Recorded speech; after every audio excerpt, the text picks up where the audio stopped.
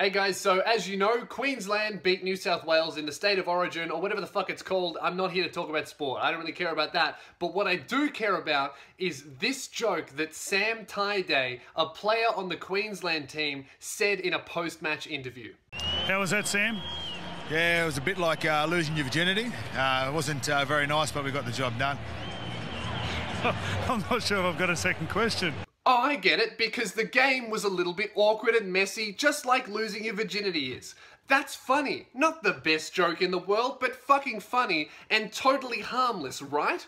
Well, not if you're a media outlet, because this is what they do. Media makes money out of creating offense.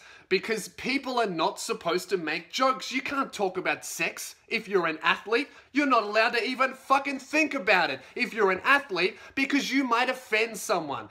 Every single time a public figure makes a joke about anything that isn't fucking puppies or chickens crossing the road, the news jumps on it and tries to create offense out of nothing because that's how they make their money. But what happens when a public figure refuses to apologize? They don't know what to do. Ashley Brown from Channel 7. Do you regret your comments from last night? Nah, not at all. You don't think they're inappropriate at all? Nah. You're a professional athlete and you're referring to winning a game like losing your virginity. Yeah. You don't think that's inappropriate? Nah, not at all. There's been backlash online and overall about it. See, this is hilarious because Sam Thaiday doesn't give a fuck and the Channel 7 news reporter has no idea how to handle it. If you listen to the words coming out of her mouth, what she really means is, Sam, you said these words. And then he goes, yeah, I said those words. And then she goes, no, I don't think you understand, Sam. You said these words. And he goes, yeah, I know. I was there. And then the only thing she has to fall back on is, well, there was a lot of backlash online.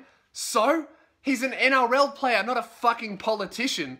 The news makes money out of offended people. So when someone stands behind the words they say, the media has no idea what the fuck to do. Pump plenty everyone.